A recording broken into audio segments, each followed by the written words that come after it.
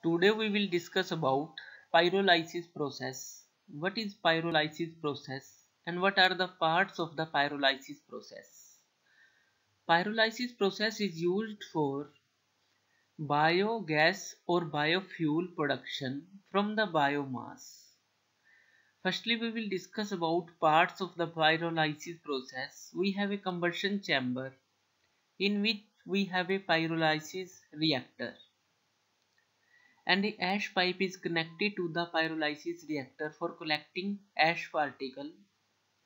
And this is the air pipe for giving air to the combustion chamber for combustion process. Pyrolysis process is done in the absence of oxygen. This is the preparation for pyrolysis process biomass preparation process drying cutting etc.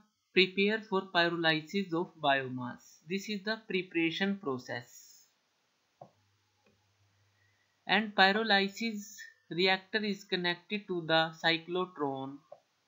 In cyclotron, char particles will be extracted from the gases. And then cyclotron is connected to the quencher.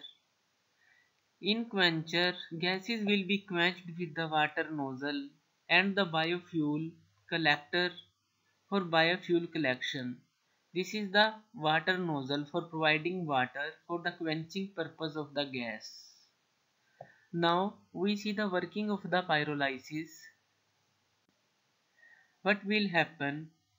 Wooden particles, small biomass particles will be prepared for the pyrolysis process by drying cutting operations and these particles in small pieces reach to the pyrolysis reactor and pyrolysis reactor work in the absence of oxygen and the combustion chamber will indirectly heat the pyrolysis reactor. From this some ash particle will be created from the biomass and these will be collected in the ash chamber.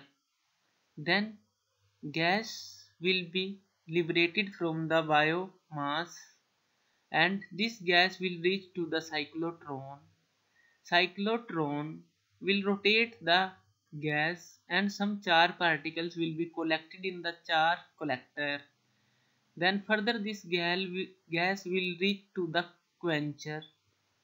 In quencher, water and gas will combine together and give biofuel and this biofuel will be collected in the biofuel collector and then remaining gas will be out or reused in the combustion chamber. So this is the pyrolysis process for collecting biofuel and char product from the biomass. Thank you for seeing this video. For more updated videos, you can subscribe me on my channel Learn and Grow. Thank you.